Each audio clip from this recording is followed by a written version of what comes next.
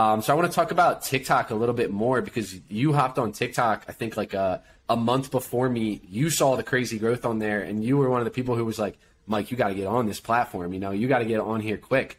Um, so can you talk a little bit more about like just the importance of not only TikTok, but building a following before you actually go and launch a product and like what that might look for um, look like for someone, right? Let's say someone's out there, they have a hundred thousand followers on TikTok, they built that following, um, kind of using like some of your models.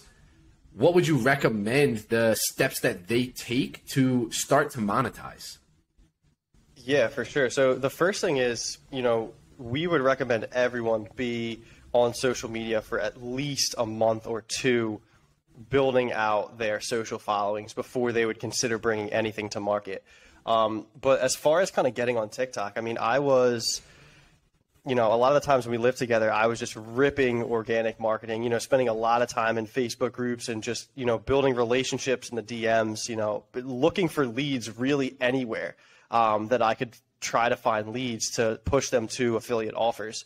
Um, and I kept hearing, you know, TikTok, TikTok, and um, I was actually talking to someone on the phone who I was on a sales call, and it was like a 45 year old, you know, corporate office worker telling me about TikTok, and I'm like, this is kind of weird that this guy's, you know, bringing this up. And then it was actually your sister was like, yo, you guys should.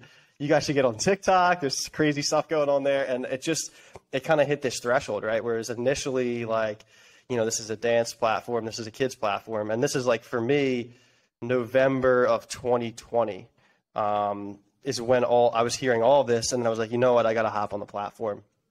So I hopped on the platform, um, and I realized very quickly the ability to grow very, very fast. And for me, it was always about lead generation, right? Because I was just building an email list off of TikTok, um, pushing them to affiliate offers. Um, and something else that I didn't realize as well is the ability to build relationships on TikTok platform. It does not exist anywhere else. Like you cannot put yourself out there like you can on TikTok and have your authenticity shine through on a platform like that.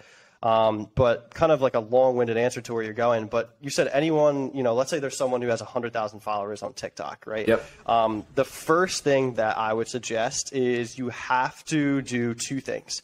The first thing you need to do is focus on building an email list. So you definitely want to have email capture on there because that email list is going to be a very important long-term asset for your business. It may not pay dividends in the short term, but a year, two years, three years, five years down the road, that email list is going to be key. The second thing is community building.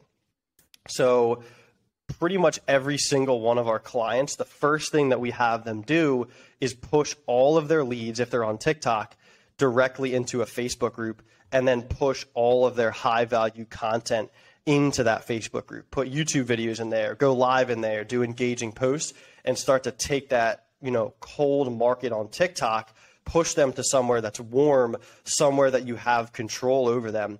And I almost view a Facebook group like an email list, right? Except even more powerful, in my opinion. Now, you don't own it like you own an email list, but you control those leads. You can reach out to those leads. You're going to get much better open rates in the messenger. You can get a lot more engagement um, if you're putting posts there. So that would be my recommendation if you're like, you know, one of those people who's just grown a huge following and you don't really know what you're doing. If you have any sort of value to provide, push those people into a Facebook group and just provide massive amounts of value.